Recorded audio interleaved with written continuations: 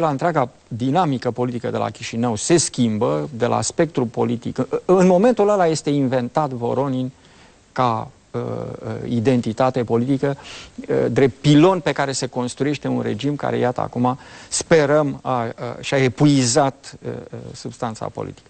Deci, uh, datorită acestor două momente disjuncte, relația României cu Republica Moldova n-a putut să fie scoasă din, din contradicțiile în care a adus o dinamică politică și sperăm ca aceste, ca aceste alegeri să restructureze spațiul politic și să, repu, să putem relua un alt fel, cum spuneam, un alt fel de politică și la Chișinău, dar și în relația cu Bucureștiul, respectiv cu, cu Moscova. Deci, din punct de da. vedere da. al Transnistriei, nu e, nicio, nu e niciun pericol, nu e nicio bombă.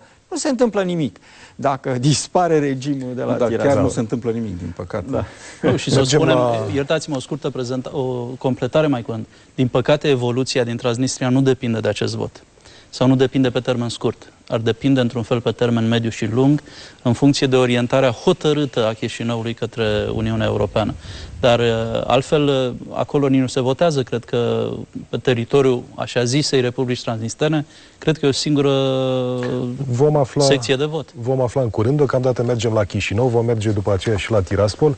La Chișinău discutăm cu Aneta Grosu, redactor șef al ziarului de gardă. Bună seara! Bună seara!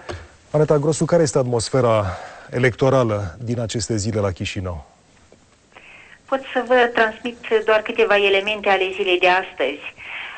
De dimineață, pe străzile orașului, mai mulți tineri scandau părinți bunei, nu-i votați pe ei.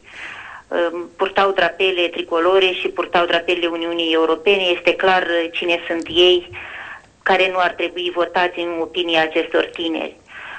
Dar tot astăzi Ziarul de Gardă și alte publicații de la Chișinău, Ziarul Timpu, a primit uh, o scrisoare de la Comisia Electorală Centrală în care suntem informați că această comisie a solicitat Procuratura Generală să întreprindă controle și investigații la cele două publicații în legătură cu niște motive inventate, cu niște așa zise sesizări pe care ca și cum aceste publicații nu le-au luat în seamă.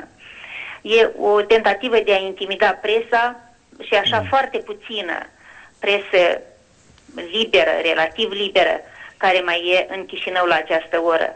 Pentru că tot ce a mai rămas câteva publicații de limbă română, în opinia actualei guvernări, sunt tocmai ceea ce împiedică buna, între ghilimele, desfășurare a campaniei electorale așa cum o vor ei. Știu că s-a discutat despre afișarea listelor electorale care au întârziat. Mulți din liderii opoziției le-au așteptat pentru o verificare mai temeinică. Între timp știu că uh, câteva organizații neguvernamentale au prezentat rapoarte privind uh, modul uh, în care se desfășoară acest scrutin, dar și cel precedent. Um, despre ce este vorba? Este vorba că, de fapt, fraudele despre care s-a vorbit imediat după 5 aprilie, dar și în uh, timpul campaniei anterioare, uh, se pare că riscăm să ne confruntăm și de această dată poate chiar cu un număr mult mai mare, pentru că uh, numirea alegerilor într-o zi de muncă, la 29 iulie, în timpul săptămânii, practic îi privează de dreptul de a vota pe cei circa un milion de cetățeni ai Republicii Moldova plecați la muncă în străinătate. Ă, în schimb, a fost editat un număr chiar mai mare de buletine pentru misiunile diplomatice ale Republicii Moldova acreditate în afară și e logică întrebarea dacă ați numit alegeri într-o zi de muncă, pentru cine ați editat un număr mai mare de buletine de vot? Este o situație chiar stupidă. Faptul că astăzi, în aeroportul din Chișinău, un grup de jurnaliști a fost ținut 5 ore în șir, fără a avea acces în, la Chișinău, venea un grup de ziariști pentru, tocmai pentru reflectarea ultimelor zile de campanie și a scrutinului din 29 iulie. De ce s-ar teme guvernanții? De ce nu acceptă ca observatorii străini, de ce nu acceptă jurnaliști străini să vină în Republica Moldova, să vină la Chișinău în aceste zile foarte importante pentru destinul nostru democratic. Da, să sperăm că vom afla răspunsul uh, miercuri la aceste întrebări. Mulțumesc frumos, Aneta Grosu, o seară bună! Sănătate! Vasile Ernu, uh, dincolo de aceste uh, întrebări, dincolo de a discuta de uh, miza acestor alegeri, nu știu dacă putem uh, face fișa standard a alegătorului moldovean.